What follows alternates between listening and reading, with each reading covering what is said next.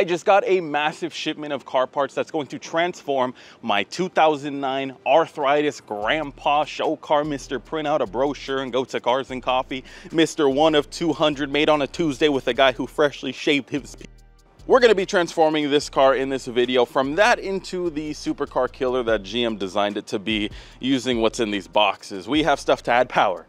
We have stuff to make it look better. So not only when we're gapping Lamborghinis, we're gonna be looking better doing it. In order to do that, we need to pull it in the garage and let's go ahead and get started. Okay, so the first thing we're gonna go ahead and install is the new K&N carbon fiber intake. So this is what the factory airbox looks like it's cool. It's got a little skull on it and stuff, you know, just extra horsepower right there. But uh, yeah, I, I, I really want to hear it whine a little bit more, so I think this is going to help. And then also, this is just going to flow a little bit better, and it's got a reusable filter, so it's just the best of both worlds. So I'm going to go ahead and start removing all this fun stuff and try not to break anything. And uh, I guess once I get it out, we'll compare the two side by side, but I have a feeling with the new one, we're going to hear a lot more intake noises, which is gotta be great. All right, here's the two side by side. OEM, obviously K&N. I didn't know the whole thing is fiberglass. This thing literally weighs nothing. Like, it's insane how light this is. This is like three or four times the weight. Um, but there's the filter, which is pretty, uh, pretty whack, all things considered. This is not whack. This is cool. So we're gonna put the cool one on the car. I have to get off that coupler still, but Comes with everything you need, couplers, um, instructions, so yeah, this will be very helpful. All right, I got everything transferred over. It looks beautiful. Got my clamps nice and straight, got the bracket on. We're just about ready to put it in. I wiped everything down. Um, we just got to put the coupler on and then we're good to go. So should sound pretty different. I'm just just looking at how restrictive this is and it has like a dead chamber here. This should help a lot. Dude, that's a thick filter. Oh my god, you guys can see it right there. That filter is like from there to there. Oh my god, what are they thinking? Robbing me of all that horsepower. How dare they? God, it's so sexy. If I could fill this with I would.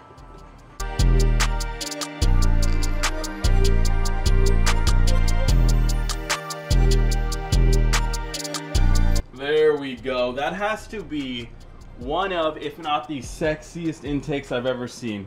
We got the carbon on the hood. We have the carbon intake. Dude, that looks insane. And like, it looks low-key too. Oh, I kind of wish I put the, well, I guess the K&N badges are facing the same way. But I kind of wish I put the intake the other way so you could read the K&N. But regardless, it looks really good. I'm really happy with it. Not sure if it's carb legal, but I don't really care because uh, who are they to tell me how much horsepower my bald eagle spitting Corvette can and cannot have? These goddamn politicians ruining the country. Anyways, um, let's continue installing everything else. This intake also claims a gain of 27 horsepower at 5,900 RPM and 20 foot-pounds of torque at 4,200 RPM. So I wonder if we'll be able to feel that. No idea. The next thing we're going to install are the uh, C6 laser side markers. So this is going to just help bring the Corvette into the modern era. I mean, this is a 2009. This is an old vehicle. And although the car I think is beautiful, we can update some of the halogens with LEDs and just make the car look a lot newer than it actually is. This is, I mean, this is just a simple thing to just help your car look a little bit better, in my opinion. So I'm gonna start with the rear because I think the rears are way easier, but let me open these up. These are the smoked versions, so these are pretty dark. Um, it's gonna just eliminate the bright orange marker and it's gonna help just kind of blend with all of the carbon bits around the vehicle. And then when they're turned on, you'll see the nice crisp LED strip. Let me go ahead and show you what the uh, OEM ones look like. So here's what they look like pretty ugly. I mean, it's period correct, but it just doesn't look all that nice. Then you have the rears right here, same thing, just one bulb, supposed to illuminate the whole thing. Doesn't look all that nice. To install the rears, what we have to do is sneak through the taillight. There's one T15 bolt right there, and we can clip this one, unclip it, I should say. It's crazy to think that these taillights are held in with one screw that's accessible from the rear. So if you ever want to steal a C6 taillight, don't do it, but uh, anyways, there's the clip in there. I'm not sure if you guys can see it, but there's two clips, and then you can put, pull it out and uh, unplug it. So once you unclip the two clips, comes right out. Just don't pull it. Then what you do is pull out the bulb and plug in the connector. Um, it is polar, bipolar, I forgot what the word is. So if it doesn't turn on, just flip the connector and then it'll turn on. And then if you did everything correctly, that's how it should look. And you should be able to click it in just like that. Now we have a much more modern look to the rear end of this Corvette. And after you reinstall your taillight, you're done. It's that easy. Took about two minutes and uh, the car looks much, much better. Now the fronts aren't too bad, but you are gonna have to turn your wheel because you have to get behind the wheel liner. But after that, it's the same process as the rear. So all things considered, not too bad of an install. So yeah, to do the fronts, five T15 bolts, and then you just reach in and you can wiggle it out after you remove the clips. See if I can do this on camera without breaking it. There we go. See, don't force anything. Just finesse it a little bit, that's all. Then we take our new one, peel off the plastic, make sure your switch is on, plug it in, and then we can test to make sure it's plugged in correctly. There we go. And there we go. So that's how it looks when it's off. Matches all of the other black housings. And then when you turn it on, you got that nice amber LED strip and it just, oh, it looks so much nicer. God, I'm so happy I got these. One thing to keep in mind is since they are LED, they are a little thicker, so they do stick out just literally like two millimeters. It's not much, it's not noticeable.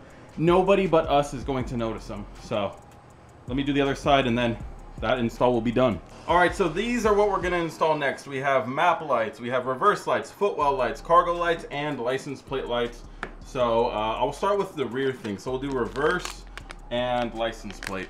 Now I didn't look up a video on how to install these, but GM seems pretty smart. So I'm sure it's gonna be pretty simple. I bet you there's, yep, there we go. We got some screws under here we gotta undo. And then, uh, yeah, shouldn't be too bad.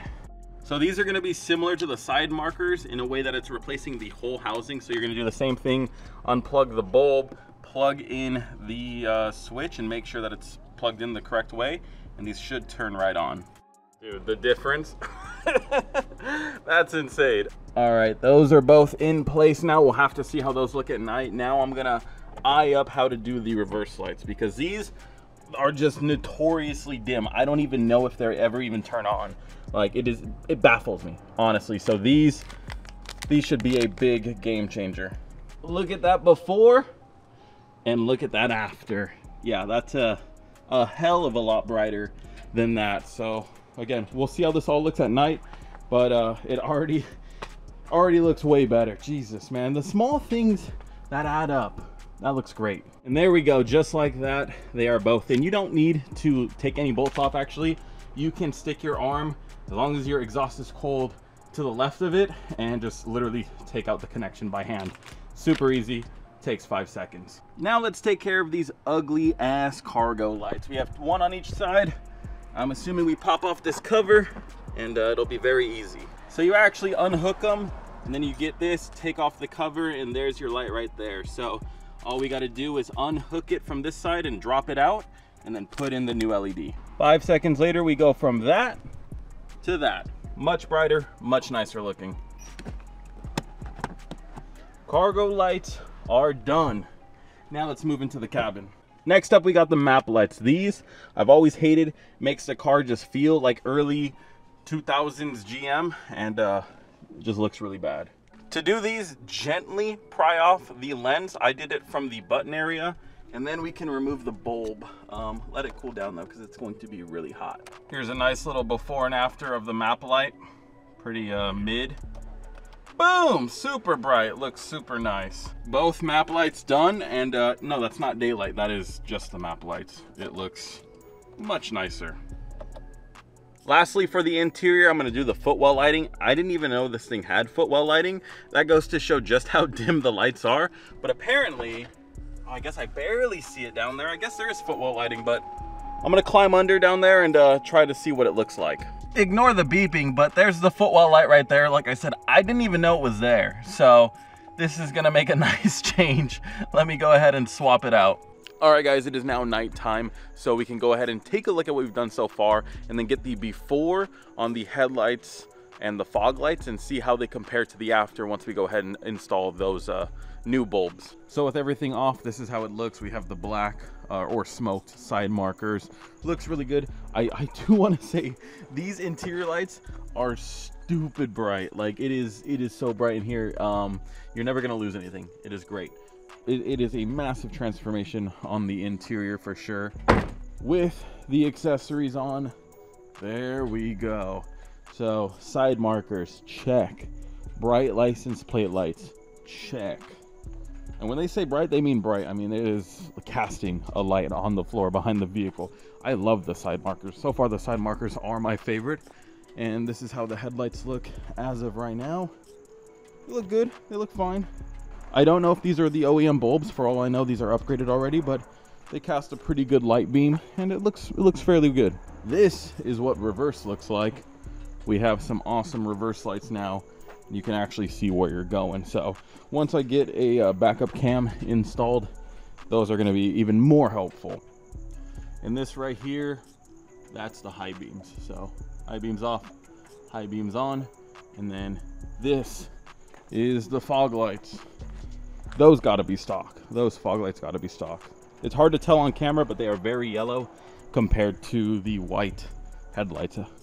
So I'm gonna go ahead and pull it in and then we can start swapping out the bulbs. So funny enough, to do the fog lights, you gotta do the same thing as if you're doing the side markers. So do them at the same time.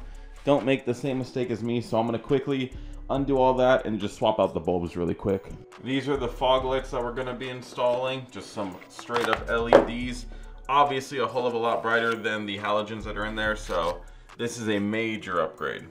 Yeah, I think it's safe to say which one is brighter. The fact that that is completely being washed out shows on camera which one's brighter. And uh, as for the front, well, one definitely looks better, and it's uh, the nice crisp white one instead of the ugly old yellow one. You versus the guy she tells you not to worry about. He's just a friend. Heard that one before. One thing I'll quickly mention too is I know a lot of people might say, oh, well, with LEDs, you usually don't get a good spray or a good pattern. These have uh, a panel on all four sides. So in essence, it's pretty much got the same pattern as the halogen, just a lot brighter. And you're not gonna blind anyone with these either. In order to do the headlights, you do gotta pop off the wheel. And then there is an access panel in here. Where is it? There it is. And uh, once you take off this rubber access panel, you can access the high beams, low beams, and the blinker. So I'm gonna quickly swap those out and then we can do a comparison. All right, so here's the before and after. This is before, this is after. This is with high beams on. If I bring it in really close, you can see obviously a gold high beam, and this is a HID uh, low beam, which is, it's bright, it's bright. Now this is LED low beam and LED high beam, and uh, it is definitely much brighter. Um, it's hard to tell on camera because the camera auto balances, but maybe if I stand back enough, you can see this is really washed out. Like we can't really see anything down here. We can see a little bit in that in that nook. But uh, in person, yeah, I mean the right side is is way brighter in person. It's, again, hard to tell on camera, but uh, this is this is real nice. So here's the stock HID compared to the LED replacement that we are inserting. Uh, as you can see, there's a bit of a size difference. This has a much bigger cooling pack on the rear as well. And then here is the uh, LED high beam compared to the halogen high beam. That one, I mean, that's self-explanatory why we're doing that. And before installing the first LED low beam, I was honestly skeptical because, I mean, HIDs are bright. But uh, the amount of light that this little sucker just puts out is insane. So, and, uh, you know, having an external fan and everything, like, it's, it's a well-built piece of equipment. So, I'm to finish this side and then all of the lights will have been changed except for the turn signals and tail lights. And that's because, well, I want to get rid of those tail lights. Now that we've got all the lights installed, there's only one last thing we have to do, and that's get rid of these stock wheels with this dog water fitment. Look at that. What was, oh my God, oh, I can't even talk. Anyways, let's head to my boy's shop and let's go ahead and toss on the new wheels.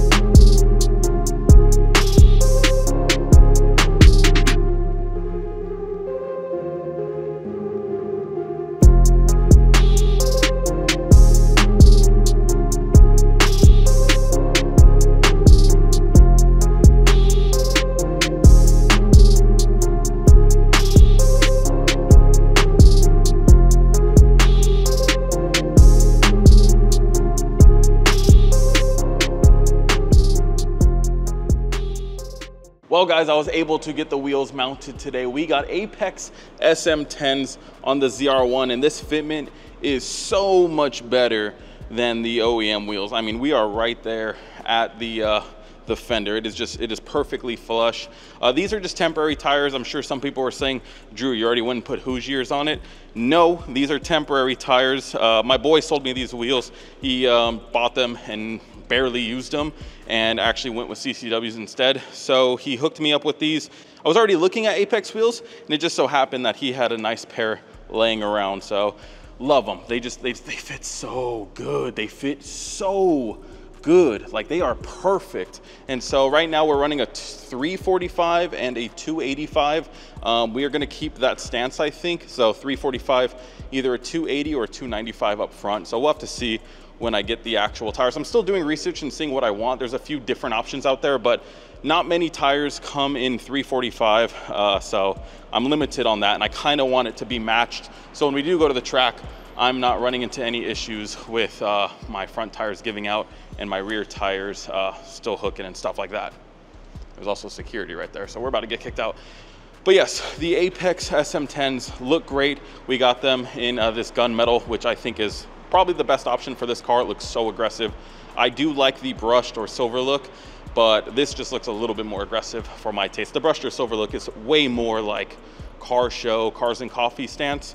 This is a uh, this is aggressive and ready for the track. If it's echoey in here, I am sorry. There's also trash everywhere. Someone needs to clean this up. But yeah, hopefully you guys like the wheel choice. I do. I love it. I don't think I would go any other way unless somebody literally handed me a set of CCWs, which I already have on the Supra, so there's no real point to have two cars with the same wheels.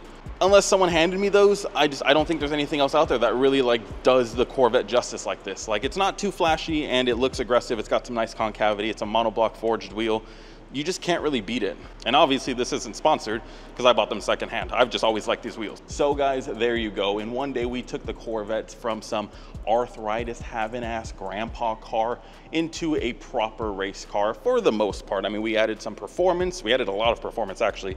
These wheels alone and uh, the capabilities of the tire setup are going to enhance the handling of this vehicle so much. I can't wait for that. But we threw the K&N carbon fiber intake on. We got all of the lighting done from Vette Lights. I mean, cars come a long way in such a short amount of time and there's still so much more we need to do. The next thing I really want to do to this vehicle is steel braided brake lines and I want to flush out all of the fluids. God knows how old the coolant and the brake fluid is. So I might do that off camera. I'm not sure. Maybe you guys want to see that. Maybe you don't. Let me know your thoughts down below. But that is next on the agenda for uh, the ZR1 here. So anyways, I'm gonna head home. We'll wrap up this video there, but I'm super happy with uh, how the car's turned out. Someone's getting on it. Let's try to guess the car. Sounds slow. Anyways, yeah, let's go. I am just so happy with how this car is coming along. We already got the wheels, we got all the lighting updated, we already added a little bit of power. We're gonna do some more stuff power-wise, don't worry, I got some secrets coming. But I'm just so happy with the help I've gotten from Vette Lights, sending out their light systems, and then my boy Chris uh, helping me out hook up these wheels real quick. Um, honestly, like this is like my dream Corvette, and I've been saying that since I got it, and I've been able to modify it how I have always wanted to modify a Corvette. Also, I don't know if you guys can tell, but I'm like in the process of redoing my garage, so ignore the yellow floors, but yeah, hopefully you guys like the look a lot better. We also got no more ghetto lights up there, so. Anywho, car looks great. And I couldn't have done it without the people that helped me in this video. Big shout out to Vette Lights. I'm going to link their website down below. Super quality lights. Literally every light they sent me was a major upgrade from OEM. High beam, low beam, fog lights, side markers, everything I have zero complaints with so far. I am super happy to have them all in my car. I just need to figure out what kind of tail lights I want because uh, that's the one thing that really needs to change. I do like the OEM housings. I know a lot of people don't like them. I do personally, so uh, I'm gonna leave them. But yeah, big shout out to uh, Vette Lights. Thank you guys so much for sending your lighting systems. I love them so much. And then a uh, big shout out to Chris. He doesn't watch my videos, but big shout out to you. You know who you are. Anyways, hopefully you guys like what I've done to the Vette. Let me know if you guys could have chose any wheel to put on. What would you guys have put on? Also, don't forget to subscribe, comment, and like the video. Share it with somebody that needs to buy a Corvette. Anyways, Until next video, peace. By the way, I'm in the process of editing the video. I looked sweaty as hell. I was literally running around chasing the car with the gimbal. There were multiple clips where I was doing that, so you guys only saw like one, but there were multiple clips. I was chasing the car throughout the whole garage. I looked like a fucking lunatic. Anyways, until next video, peace.